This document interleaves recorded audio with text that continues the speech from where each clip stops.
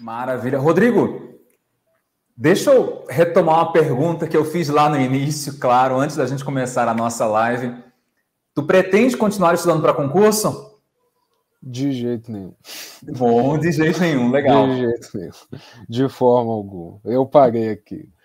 Era, era o meu objetivo mesmo. A gente vai falar mais sobre isso aí, sobre essas tu, perspectivas tu tá aí. Quantos anos agora, Rodrigo? Estão 26. 26 anos. Isso. É, me conta um pouco, então, quem que é o Rodrigo? Então, onde é que ele vem? Onde que ele chegou? E, sei lá, o que, que a gente pode esperar do Rodrigo daqui a mais algum tempo? Cara, eu sou eu sou mineiro, não de Belo Horizonte propriamente, mas a minha família toda daqui já tem 10 anos que eu, que eu moro aqui em, em BH. Psicólogo de formação aí, formei no início do ano e pô, em relação a essa questão do serviço público, eu já eu comecei nessa área já na própria faculdade, quando eu fiz estágio no Sersan. Sersan é o um nome dado ao CAPS Belo Horizontino, né? Fica conhecido como CERSAN, Centro de Referência em Saúde Mental. Tive a oportunidade de ouro de fazer estágio lá durante um ano, assim, com supervisão e tudo, uma atuação bem é, bem intensa mesmo que eu tive lá dentro. E ali foi meio que o momento que eu já curti muito o serviço público, a rede de Belo Horizonte, as possibilidades de trabalho com o psicólogo. E acabou que foi uma, uma junção aí é, muito fortuita do momento assim, de eu estar tá formando bem no início do ano e já saiu um concurso para a área da saúde. E não tinha 10 anos, não tinha concurso para BH para psicólogo, para a área da saúde, de uma maneira geral. Acho que o último tinha sido 2010 ou 2011. Então, foi uma coincidência mesmo que acabou dando é, chance para mim poder entrar assim de cara como servidor efetivo, né? E daqui para frente é, eu, eu gosto muito da área, eu gosto muito do trabalho de fazer, então vou entrar para para fazer a diferença dentro das minhas possibilidades, né? Não tenho diversas críticas assim ao ao serviço público de uma maneira geral. Então, eu sei que eu não, eu não vou mudar o mundo, mas eu, como profissional, como psicólogo, eu posso fazer a diferença. É, acredito que eu tenha feito um pouco quando eu era estagiário, já tive uma oportunidade de fazer isso em alguma proporção. E até mesmo recentemente eu tive a oportunidade de trabalhar de novo na prefeitura. É, logo quando eu comecei a estudar para o concurso, eu fiz um trabalho temporário lá na prefeitura de BH e de novo também pude é, já sentir um pouco do trabalho que eu posso fazer lá dentro e espero que eu vou poder continuar fazendo isso agora quando eu poder ocupar meu cargo. Tu acha que tu vai ser chamado quando? Ah, que negócio, né? Só Deus sabe. Você deve saber muito melhor que eu. É bem variável, né? É, eu tenho uma expectativa, só uma expectativa feeling, assim, de quem sabe ano que vem, por dois motivos. Primeiro, porque a área da saúde de Belo Horizonte está muito defasada. Como eu falei, 10 anos sem concurso, tá? é muito tempo. É, e isso está sendo já uma, uma demanda do próprio controle social da saúde de Belo Horizonte, de que precisa ocupar os cargos com servidores efetivos, porque a rotatividade é muito grande. O contrato temporário não não é tão bom quanto a pessoa que é servidor de carreira. E o segundo, por ser um ano de eleição, né? E o nosso prefeito ele tem aspirações a outros cargos além da prefeitura de Belo Horizonte. Então, para ele, assim, não deixa de ser uma excelente oportunidade de já botar não sei quant, quantas centenas de servidores na saúde de Belo Horizonte e ainda botar isso no portfólio dele não está errado, está mais que certo, é a fome com a vontade de comer, está ótimo, né? Então é, é só assim, a expectativa de quem sabe ano que vem. Mas pode ser que seja daqui a dois anos. Não dá para saber, né? Não, não, não. Pelo amor de Deus, não, não, eu acho que sai logo, deve sair logo. É, cara, tu tinha falado agora há pouco, tu tinha muitas reticências com relação ao serviço público, eu me identifiquei com isso pela minha formação em si, eu tinha uma série de críticas e tal. Acabou que eu virei servidor público. Eu dupliquei a quantidade de críticas, mas agora um, pouco, um pouco diferentes. Eu não estou apaixonado, hum. nunca fui apaixonado. E não vou dizer para vocês que, nossa, serviço público muda a pessoa, você vai mudar o mundo e tal. Já cheguei a acreditar nisso. Quais são tuas reticências com relação ao serviço público? Hã? Ah, nossa, são, são várias, cara, são várias, assim. É...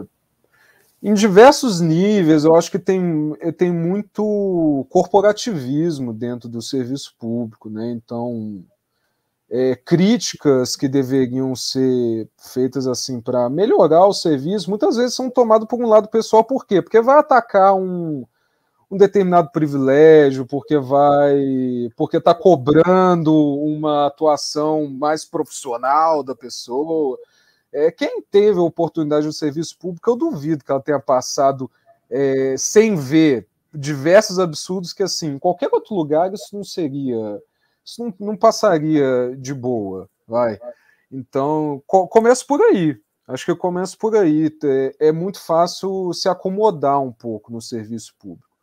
É, eu acho que a saúde é um pouco diferente, porque ela conclama o sujeito a uma, ocupar uma, uma posição diferente. Não é um cargo genérico. A saúde não é um cargo genérico. Um médico de um centro de saúde ter uma, uma postura meio pessoal em relação ao trabalho dele, pô, e vai falar o quê? Que um médico que fez concurso agora fez isso pelo salário? Duvido. Ele poderia ter muito mais do que na iniciativa privada. Então, normalmente tem um certo filtro na área da saúde que é, tem um motivo além do só o cargo e benefício de estabilidade, etc., para ele exercer isso. Mas ainda assim pode acontecer. E foi que serviço público, assim, Serviço público depende de gestores públicos, e gestores públicos são políticos. E aí, cara. Boa, boa. Aí tudo pode acontecer. Tudo, tudo pode acontecer. Qualquer coisa pode acontecer, para o bem e para o mal, infelizmente. Então, isso são algumas das minhas reticências com o serviço Bom, público. Três muito importantes, né? A ideia de corporativismo, os grupos que acabam se entrincheirando como a gente vê no campo da psicologia organizacional, o risco de acomodação e a dependência também da, dos gestores. Muitos entram e aí desfazem o que os outros estavam fazendo, coisas boas às vezes. Cara, perfeito. Foi bem pontual, bem preciso. E como que tu pretende lidar com tudo isso? Como é que você quer deixar sua marca? Ou não quer deixar marca, quer só fazer ali o arroz com feijão? Ah, não, não. Ah, não, professor. Primeiro eu quero ser chamado, humildemente chegar, sentir onde é que eu vou trabalhar, não faço a menor ideia, nem, nem tem essa descrição no edital. Então, você não sabe se eu vou para atenção primária, se eu vou para a saúde mental, enfim. Então, primeiro, ocupar esse espaço para ver o que, que eu vou poder fazer. No final das contas, eu acho que assim, a marca que eu, que eu pretendo deixar assim é sempre a pessoa final que é o usuário. É, eu quero deixar a marca para essa pessoa, velho. É o usuário, é o cara que usa o SUS. É o, a pessoa que vai lá e está cansado de receber, ah, não dá para ajudar, ah, infelizmente isso aqui não vai ter jeito. Não, eu quero fazer diferença para essa pessoa, uma pessoa que está lá para literalmente servir o público, pô, que é isso que literalmente o servidor público faz, né? E na hora da saúde, então, pô, na, eu quero servir esse cara e deixar uma marca para essas pessoas, que em algum lugar ali tem pessoas competentes e dispostas a trabalhar em favor delas, né?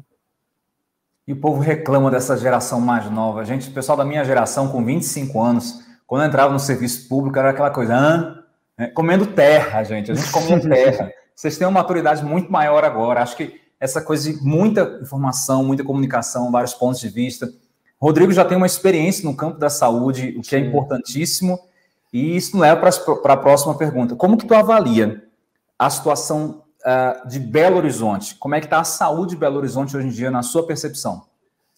Então, ela não é ela não é ruim, mas ela também não é excelente. É, tem problemas aí de é muito profissional. É, acho que, cara, se, se você perguntar, uma das principais reclamações é essa: é falta de profissional, que é reclamado o tempo todo. Eu falei, no início do ano eu trabalhei na prefeitura de Belo Horizonte, foi uma experiência incrível, assim. Acabei tendo contato com o controle social da o, os conselhos de saúde, né? Relembrando aí um pouco da matéria, conselhos de saúde, eles existem, eles funcionam Pelo menos em Belo Horizonte funciona. E isso é uma das principais reivindicações da, da do povo, é a falta de profissional. É, e isso atrapalha, assim, uma série de coisas, serviços e etc. Então, por exemplo, está acontecendo em Belo Horizonte uma situação que é de fato público, de conhecimento público, que é, a, o Conselho de Medicina pediu o fechamento do Sersans, isso tem acontecido aí no último mês, uma, uma bagunça, e muito das coisas que eles criticam em relação à a, a, a, pauta né, que é, foi colocado pelos médicos ali, coisas que acontecem que não deveriam acontecer, é em detrimento da, de você ter falta de profissionais. Inclusive, isso foi a resposta das pessoas da área da saúde mental, que obviamente são contra o fechamento do Sersan, eu inclusive, que não dá para fechar assim, mas eh, coisas que não deveriam acontecer ou que poderiam ser melhoradas acontecem justamente por você ter uma defasagem profissional. Infelizmente, é uma realidade. É, então, poderia ser melhor, não é ruim, eu afirmo. No início do ano trabalhei em quatro centros de saúde, não é ruim, mas poderia ser melhor. E acho que muito passa por aí. Para quem não é da terrinha, é, só para explicar aqui, Serçãs são os CAPs, certo? Isso. No resto do país nós temos os CAPs. Isso. E a, a, a, formação da estrutura de saúde mental de Belo Horizonte ela é pioneira em um bocado de coisa e bastante sui generis. Então ela influencia uma boa parte das outras capitais do Nordeste, com um delay de 10 anos mais ou menos. Eu digo porque fiz esse levantamento e tem 10 anos que eu estou preparando para concurso. A gente sempre conta um pouco da história da saúde mental de alguns algumas cidades, principalmente capitais, e a, articulação também ela foi meio atropelada em alguns sentidos, uma sobreposição de equipes e tal. E essa uhum. característica que o Rodrigo falou de da falta de concurso, falta de profissional, cara, é terrível. Mas enfim, vai melhorar, vai melhorar um pouco. É, e eu espero que chamem mais pessoas, viu, do, do concurso. Também espero, também espero, com certeza.